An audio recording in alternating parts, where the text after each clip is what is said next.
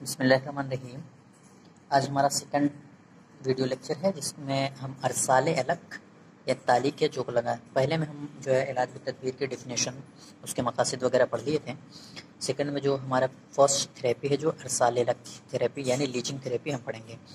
जिसमें जो है हम इसकी तारीफ़ देखते हैं, तारीफ़ क्या होता है कि जोंक लगाकर किसी मखसूस मकाम से खून चूसने का तरीका अरसाल अलग कहलाता है। मखसूस मकाम जो है आगे जो है इनके मौक़ इस्तेमाल इंडिकेशन हम पढ़ेंगे, कहाँ कहाँ पे, कौन कौन किसी बीमारी में लगाई जाती है। तो यही होता है मखसूस मकाम। जोंक लगाकर किसी मखसूस मकाम से खून चूसने का तरीका अरसाल अलग कहलाता है। इसके बाद शेखुर्रईसबू अली सीना और अतिबा हिंद के मुताबिक शेखुर्रईसबू अली सीना और अतिबा हिंद के मुताबिक अरसाल अलग एक मुफरत तरीका है। क्या है? एक मुफरत तरीका है जिसके ज़रिए जिस्मानी रद्दी मवाद को खून से अलहदा किया जाता है। ठीक है? जो भी रद्दी मवाद हमारे जिसम के अंदर खून में मौजूद होते हैं उनको जो है लीचिंग थेरेपी के ज़रिए उसको अलग किया जाता है। इससे क्या होता है कि जो है इल्तहाबी कैफियत को दूर करने के लिए जो है हम जो है लीचिंग लीचिंग थेरेपी करते हैं। अखलात को दुरुस्त कर, दुरुस्त करने के लिए करते हैं। सबसे पहले जो लीचिंग थेरेपी की गई थी सबसे पहले जो है मिस्र में खून के अखराज के लिए ये तरीका अमल में आया। सबसे पहले कहाँ पे? मिस्र में। फिर ऐसी जगह पर जहाँ पर फसद आगे इंशाल्लाह पढ़ेंगे फसद और हजामा ये दो थेरेपी हैं इनको भी आगे पढ़ेंगे। ऐसी जगह पर जहाँ पर फसद यानी वेनेशेक्सन और हजामा कपिंग नामुमकिन हो वहाँ पर भी जो है हम अरसाले अलग करते हैं। उसके बाद हम इस, इसकी अकसाम देखेंगे। अलग की अकसाम टाइप ऑफ़ लीच दो तरीके की होती हैं। अलके महमूदा यानी कि अच्छी और करामत जोंक। अच्छी और करामत से मतलब यह है कि जो तिब्बी अगराज, जो मकासद के लिए इस्तेमाल की जाती हैं, उनको हम अलके महमूदा कहते हैं और दूसरी अलके नाकिस, जो की बुरी किस्म होती है, इनको हम इनको हम इस्तेमाल नहीं करते हैं पॉइजनस भी होती हैं। ठीक तो अब उसके बाद हम देखते हैं अलके महमूदा और अलके नाकिस क्या क्या हैं। तो सबसे पहले हम अलके महमूदा देखते हैं।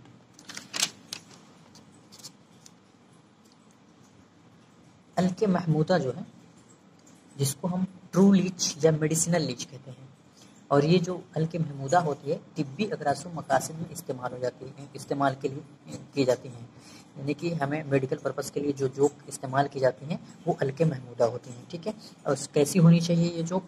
ऐसी जोक हो होनी चाहिए जो काई वाले पानी में, जिस मतलब जो जिस पानी में काई लगी हो, वो उस पानी की जोक हमें चाहिए। ऐसी जोक जो काई वाले पानी में हो छोटे छोटे मेढक रहते हो। अच्छा उस पानी में जो है छोटे छोटे मेढक रहते हो। और जिस जोंक का सर छोटा हो, सर की बात करें, सर छोटा हो और कलेजी के रंग का हो, उसका सर जो है, छोटा होना चाहिए और कलेजी के रंग का होना चाहिए। चूहे के दुम की तरह बारीक और बोलो, यानी कि बहुत छोटी होनी चाहिए। सब्ज़ी गालिब हो और हड़ताल के रंग की धारियाँ धारियाँ पाई जाती हों। सिमटने की हालत में छोटी टिड्डी के मशाबे हो जाती है। तो ये अल के महमूदा की जो है अल के महमूदा कैसी होनी चाहिए, इस बारे में है कि सबसे पहले जो इस पानी में, ऐसा पानी होना चाहिए जिसमें काई हो छोटे छोटे मेढक पाए जाते हों, ऐसी जोक होना चाहिए जिसका सर छोटा हो और कलेजी के रंग का हो। चूहे की दिम की तरह बारीक यानी छोटी होनी चाहिए और इस पर सब्ज़ी गालिब हो और हड़ताल के रंग की धारियाँ पाई जाती हों। और सिमटने के मतलब सुकड़ने की हालत में क्या होता है छोटी टिड्डी के मुशाबे, यानी कि छोटी टिड्डी की तरह मुशाबे मतलब सिमिलर होता है। छोटी टिड्डी के मुशाबे होती हैं। उसके बाद ये तो हो गया अलके महमूदा। उसके बाद हम बात करेंगे अलके नाकिस की। यानी कि सीडो लीच पॉइजनस लीच की हम बात करेंगे। कि पॉइजनस लीच क्या होती है? ठीक है? ऐसी लीच जिसके सर बड़े हों, वो नहीं इस्तेमाल करनी चाहिए। ठीक है? जिसके, जिसका रंग सुरमई, स्याह या सब्ज हो जो बाम मछली के मुशाबे हो, बाम मछली आती है जिसके ऊपर जो है रोए पाए जाते हैं, जिस, जिसम पर रोए हों। अगला पॉइंट ये कि जिसके जिसम पर रोए हों। और बुरे किस्म के लीचड़ से, कीचड़ से पकड़ी गई हो, बुरे किस्म के कीचड़ से पकड़ी गई हो, जिनके जिस्म पर लाजोरदे रंग की धारियाँ पाई जाती हों। मतलब ये है हल्के नाकिस कैसी, किस तरह की जोक होनी चाहिए, होती है कि जिसके सर बड़े हों, वो इस्तेमाल में नहीं लानी चाहिए। जिसका रंग सुरमई, स्याह या सब्ज हो, ऐसे नहीं करना चाहिए। इस्तेमाल नहीं करना चाहिए। जो बाम मछली के मुसाबे हो, ऐसे भी जोक इस्तेमाल नहीं करना चाहिए, जिस पर रोए हों ऐसे भी जोक नहीं इस्तेमाल करना चाहिए।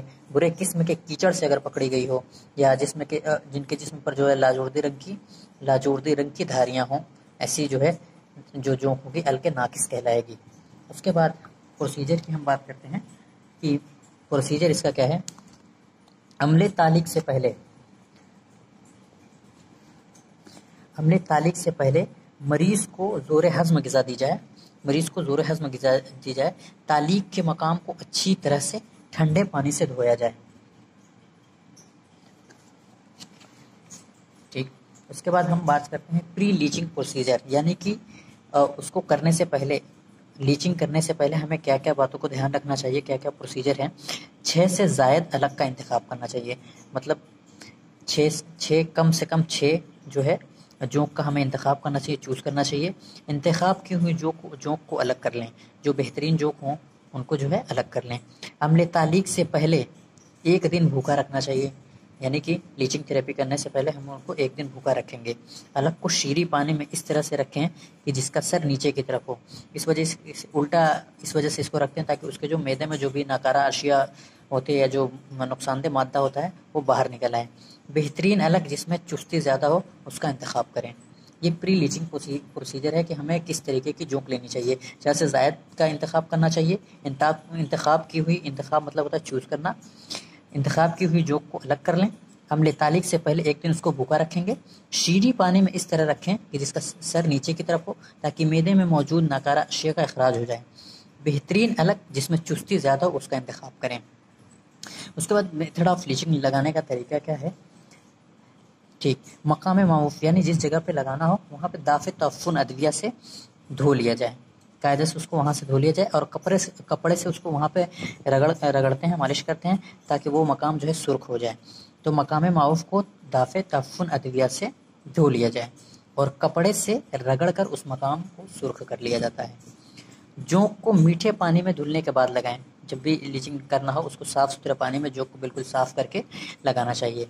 जिस मकाम पर जोंक लगाना हो, उस पर सर धोने की मिट्टी या जोक लगा दिया जाए तो जोक आसानी से चिपक जाती है। कभी कभी ऐसा होता है कि जोक चिपकती नहीं है तो उस उस कंडीशन में क्या होता है कि जो सर धोने की मिट्टी होती है सर धोने की मिट्टी या खून लगा दिया जाता है, जिससे जो है जोंक बहुत आसानी के साथ चिपक जाती है।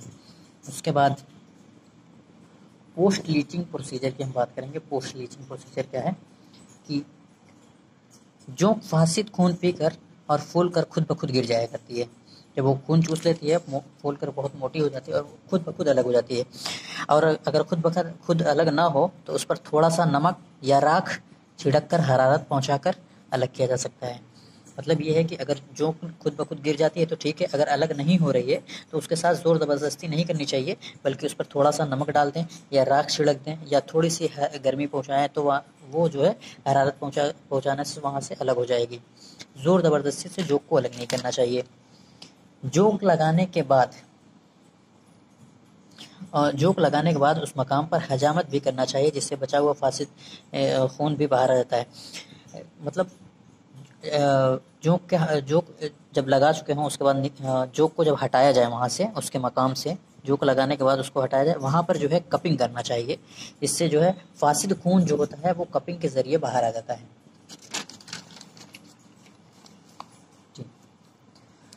अगर जोक अलग होने के बाद, जोक के अलग होने के बाद खून खुद ब खुद बंद ना हो तो उस पर जो है हाबिसुद्दम, अदविया मसलन दमुलखवैन गुले अरमनी, संग जराहत, गेरू, फिटकरी वगैरह छिड़क देना चाहिए।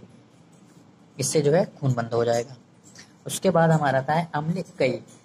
वोमिटिंग ऑफ़ लीच कैसे कराते हैं? सबसे पहले क्या करते हैं कि जोंक को सबसे पहले नमक के पानी में डाला जाता है। सबसे पहले नमक के पानी में हम लोग डालेंगे जोंक को। उसके बाद हल्दी। हल्दी के पानी में डालेंगे, फिर शीरी पानी में महफूज कर लेंगे। शीरी पानी में जो है, पहले नमक के पानी में, फिर हल्दी के पानी में, फिर शीरी पानी में डाल करके जो है, महफूज कर लेंगे। एहतियाती तदाबीर क्या है? प्रिकॉशन जो है, हमें किस बात का ध्यान रखना चाहिए? लीचिंग थेरेपी करते वक्त तो फीमोरल और जुगुलर वेन पर नहीं लगाना चाहिए। नाजुक हिस्सा जैसे पिस्तान है ब्रेस्ट कजीब पेनिस पलक आईलिड इन पर जो है जो आ, इन पर जो है लीचिंग थेरेपी नहीं करना चाहिए। पिस्तान कजीब पलक और जो है फीमोरल और जुगुलर वेन पर नहीं करना चाहिए। इसके बाद हम बात करते हैं मौाक़े इस्तेमाल। इंडिकेशंस की बात करते हैं। जर्ब, यानी स्कैबीज। उसके बाद लिम्फो एडिनोपैथी ये कब कब इस्तेमाल की जाती है? मौके इस्तेमाल है इंडिकेशन है, जर्ब, स्कैबीज, खनाजीर लिम्फोडिनोपैथी सोरासिस, चंबल, नार फारसी, एक्जिमा, उसके बाद हमारा है, कुबा, यानी दाद रिंग वर्म बवासीर, पाइल्स, कल्फ, नमिश वार्ड्स पुराने क्रूह पुराने क्रूह, क्रोनिक अल्सर सरतान, कैंसर, इल्तहाब जिल्द, यानी डर्मेटाइटिस उसका बसूर लबनिया, इकने वुलगैरिस, लदाकुल हैया, यानी स्नेक बाइट वजौल मफासिल ज्वाइंट पेन अरकुन शैटिका इन सारी बीमारियों में जो है, हम जो है लीचिंग थेरेपी के इससे फ़ायदा हमको हासिल होता है। उसके बाद ममनुआत कंट्राइंडिकेशंस इसके क्या होते हैं? सबसे पहले हम वो देखेंगे। कि इस्तेमाल के बाद जो है हम जो है ममनुआत देखेंगे कंट्राइंडिकेशन क्या इसमें एनीमिया का जो पेशेंट है, फ़खरुद्दम। एनीमिया में नहीं करना चाहिए। जो वीक पेशेंट हैं वीक पेशेंट कमज़ोर कमज़ोर मरीज़ है, उनमें नहीं करनी चाहिए। जिनमें कन्वर्जन के दौरे आते हों तो शनुजी दौरे, उनमें नहीं करना चाहिए। बूढ़े लोगों में एडल्ट पीपल में नहीं करना चाहिए। बच्चों में नहीं करना चाहिए। दौरान हमल में नहीं करना चाहिए। और जो है हीमोफीलिया में नहीं करना चाहिए। इसके बाद हम देखते हैं कॉम्प्लिकेशंस क्या क्या क्या कॉम्प्लिकेशंस हो सकते हैं। तो कॉम्प्लिकेशन में अगर इस्तेमाल की हुई जो दूसरे मरीज़ पर इस्तेमाल कर देंगे तो इन्फेक्शन हो जाता है। इन्फेक्शन होने का खतरा रहता है पहला कॉम्प्लिकेशन दूसरी चीज़ है कि इन्फ्लेमेशन हो सकता है हीमोरेज हीमोरेज हो सकता है फीवर है, खारिश है। ऐसे जो है कॉम्प्लिकेशन हमें देखने को मिलेंगे। जहरी जहरीली जोक के इस्तेमाल करने से क्या होता है क्रूह, अल्सर गशी, नसफुद्दम, इल्तहाब, तबीला सेप्टिसीमिया वगैरह जो है जहरीली जोक के इस्तेमाल करने से ये कॉम्प्लिकेशन देखने को मिलेंगे। उसके बाद हम वक्त की बात करते हैं कि अमले तालीक यानी लीचिंग थेरेपी का वक्त कितना होना चाहिए? कम से कम 20 से 40 मिनट का होना चाहिए। अमले तालीब का वक्त कम से कम 20 से 40 मिनट का हो सकता है। इस दौरान जोंक 10 से 15 एम तक खून चूस सकती है। इस दौरान जो है जोंक 10 से 15 एम तक खून चूस सकती है। Thank you.